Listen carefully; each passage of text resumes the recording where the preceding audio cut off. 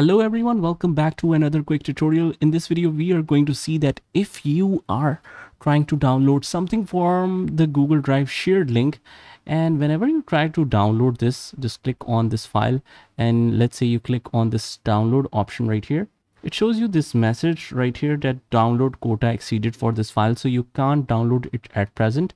So we have a couple of solutions for that and one of them might work for you. So just stay with me till the end otherwise you will miss any important part of the video and you won't be able to implement and download the files you are planning to download. So let's get started. So first of all what you need to do guys is just sign in on your gmail account. So let me just sign in and let's say whenever we uh, try to download any file it shows you this message right? If you click on download anyway. So what you can do is just go to the home tab on your main drive and just create a new folder. And let's say the folder name would be uh, download sap try. Create the account.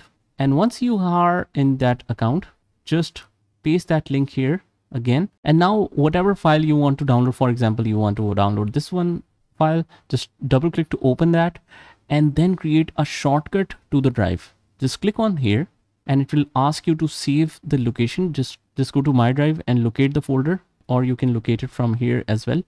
And just add this one or this file to the folder. Click on add and that shortcuts will be added there. So let's go there and make sure that the shortcut is added here. Now until this point it will not start the downloading if we click on here again and just try to download this it will still show you that error. So just stay with me till the end till I show you all the process. Now what you can do is to download that instead of downloading it directly from the file we will just create a zip file and that is the main trick to download that file. Just locate that folder and on the right hand side of this folder you have this three dots right here click on that and click on download from here. What it will do is it will create a zip file. It will zip all the file and then it will start the downloading process. So it will take some time to zip the file. So just wait for it to zip and then i'll show you the further process.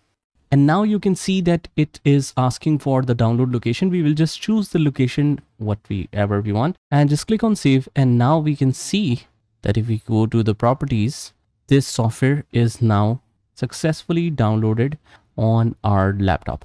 So that's it guys. This is how you can quickly solve this annoying problem of the limit quota in Google Drive. I hope you found this video helpful and if you did hit the like button, subscribe to our channel and turn on the notification bell so that you can get notified of all the future videos. This is Saad signing off from today's video. Take care.